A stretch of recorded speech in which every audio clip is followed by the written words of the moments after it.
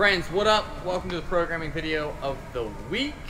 Okay, it is Sunday, it is Father's Day. Big shout out to all the dads in the gym, including our owner, Dave, and the other owners, Dave and Matt. Thank you guys for being my surrogate fathers and helping me out through some tough times. I appreciate you guys, all right? Go hug your dad, call him, do whatever you have to do today. All right, let's talk about what we're gonna get into this week. Monday is a special day for us. We're gonna do some back squats, but more importantly, we are celebrating Juneteenth since we are closed today. We're gonna do our repeat of our Juneteenth workout from last year. If you were here last year, let's see if you can beat your score. All right, we'll have some extra or accessory work for you guys as well, okay?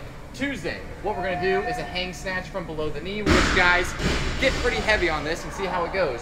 Then we have a workout for time, double unders and snatches, and then we'll do some scap ring rows. Wednesday, we're gonna find a push jerk heavy double, and then we're gonna do a fun workout. We're continuing with the idea of shoulder smolders, right? For time run, wall walk, shoulder to overhead, then we'll cool down with some banded face pulls. We did a lot of pushing. Like we said, let's even out in the opposite direction. Thursday, you're gonna do a seated box jump to prime you for these heavy power cleans. Then we have an interval workout of biking and power cleans, okay?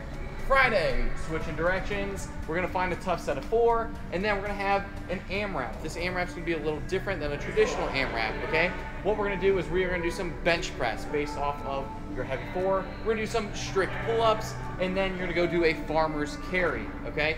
And we're not trying to ask you to blaze through this. We're just working on a lot of muscle fatigue and getting you guys ready to go down to the beach on Friday, okay? We're gonna finish the day with some ring bicep curls. Saturday, we're continuing the idea of performance care, right? Just accessory work, a lot of it, and then we're gonna get into another partner workout for you guys, all right? That's what the week's gonna look like. Looking forward to seeing you here. Peace out.